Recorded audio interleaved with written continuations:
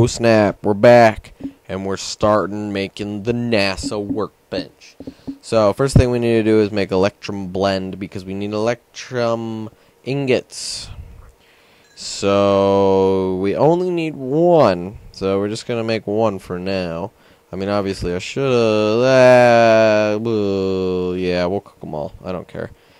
But uh, yeah, so we do have four Invar left over from earlier. And we'll need to get the lead going, so we'll need two those. And we'll throw them in the pulverizer here. We'll leadify them. And uh, let's grab the electrum, electrum ingots. E electrum, uh, what was that?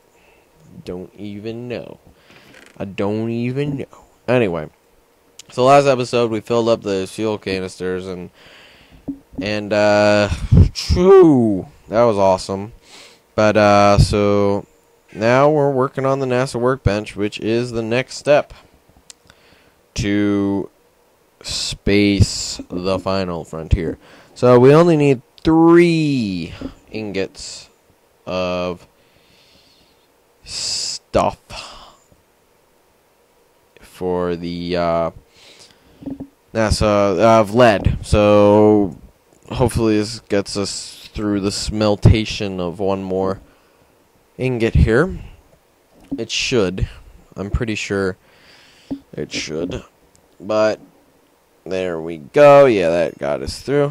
And now we're out of wood again. This is a reoccurring issue with me. I should just go chop down like the whole forest, an auto chopper or something. God.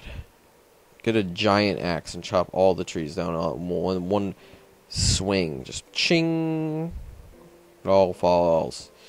Anyway, so we get our crafting table, and the invar goes like so and the electrum like so, and then the lead, PB and J. And we have our NASA workbench. I have no idea where to put this thing because I have a feeling it's big, but look at that model. That is cool in my hand right there. Let's just put it outside here. Like so. And right there. Oh my god, that is a big workbench. That's awesome looking. Alright. Oh boy. Tier 2 rocket. Ooh. Ooh.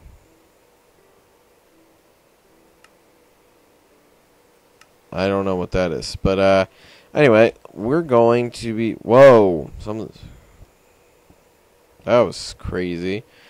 So uh I think we need like parts. So I think we can start making this a little bit here. This is going to be crazy. Yeah. All right. We're getting there. We're getting there. Space soon.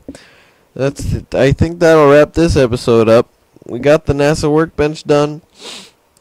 And we'll probably look at making some of the rockets soon here. So, see you guys next time.